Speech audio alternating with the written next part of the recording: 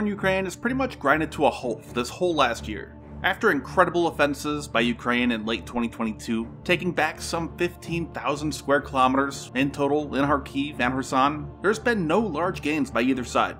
War Mapper on Twitter has put out this great chart visualizing this, and you should definitely go check them out. But those small gains that each side has made, such as Russia and Bakhmut and Ukraine right now on Robotyne, they've all mostly come at great cost and largely just with infantry on foot rather than with tanks and armored vehicles. And the number one reason for this has been drones. With drones, you can easily get an overhead view of the battlefield, spot your enemy coming from miles away, and send in these newly called FPV drones to strike tanks and vehicles, or direct anti-tank teams to take positions and hit them from the cover of the tree lines. So these drones have become a major force multiplier. And the biggest problem is that these drones are so cheap. Both sides have literally thousands upon thousands of them, and they can cost as little as $200 each. The cost to shoot them down is significantly higher. A single Patriot missile can cost $3 million.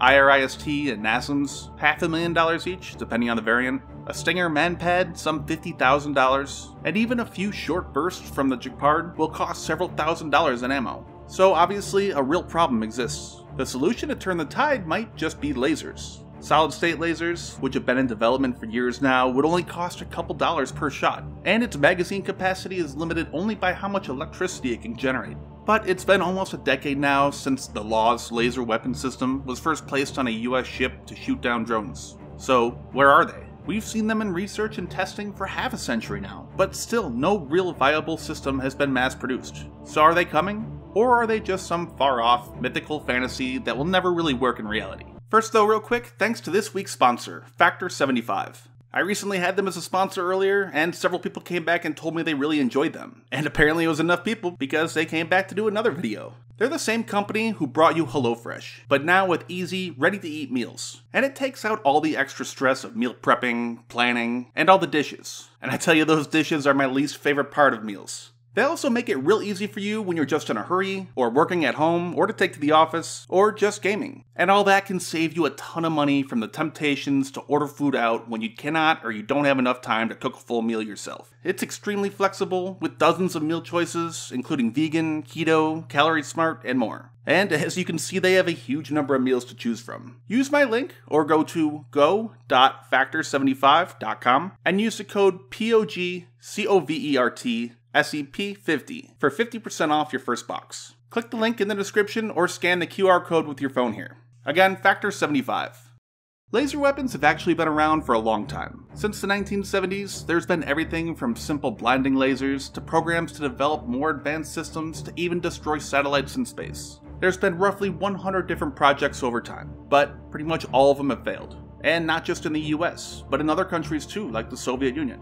But 50 years later, why don't we have lasers yet? It sounds dumb, but the US has spent literally billions of billions of dollars on projects like Project Excalibur, where a nuclear powered laser would actually shoot down an ICBM in the 80s, the MIRACL laser in the 80s and 90s to destroy satellites, which was actually attempted in 1997 when it failed and actually seriously damaged itself in the process, the famous airborne laser that was fit into the nose of a Boeing 747 to shoot down ballistic missiles in the early 2000s, LAWS in 2014, which was placed on a US warship, but development problems problems, issues tracking targets, large power requirements, and slow charging times means it was never mass produced. There are a lot more problems in designing and building a laser weapon system than one might think. First, the power or the strength of the laser. You really don't need that much power to destroy or disable a drone. To be as cheap and light as possible, they're often built out of the lightest materials possible, like lots of real thin plastic.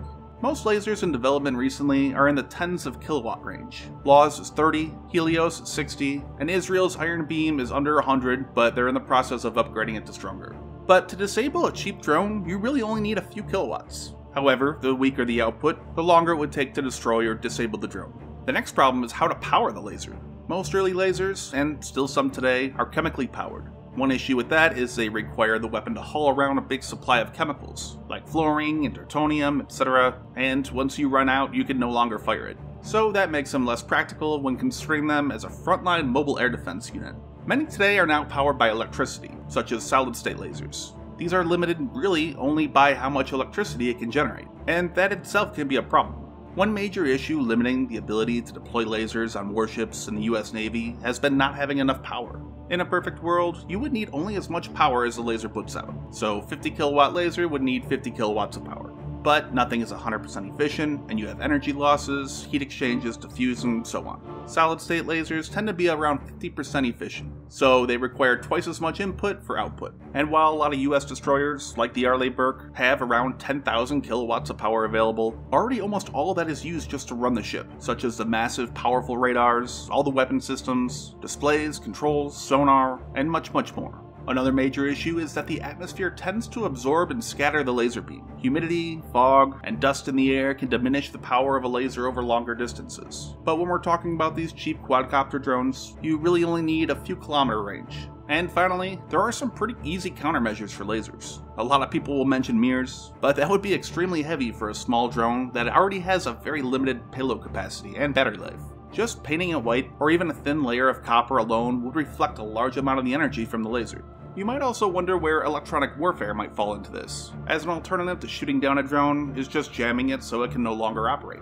And this has absolutely been a major focus on the front lines. But besides for a few videos of drones briefly losing signal, just to gain it again and carry on its mission, jamming works, but there's no disputing that it's far from perfect, and hasn't been a major solution for these drones. The drones are still operating, and we still see like 15 plus videos a day of them striking their targets. Now, another problem is why we don't have lasers. To an extent, the US really doesn't know what to build anymore. They already have a military that can pretty much handle any of the most powerful military forces out there, especially considering the late Cold War era. Most nations cannot compete in any envisioned conventional war with the US. So, obviously, a lot of other nations have looked into alternative weapons and using cheap technology available today to try to exploit weaknesses and be able to attack in ways that was not possible 30 years ago. And drones are a perfect example of that. And there really hasn't been a large conventional war between two powerful militaries with modern weapons for a long time. So, this war in Ukraine has a lot of countries starting to rethink how wars today are going to be fought.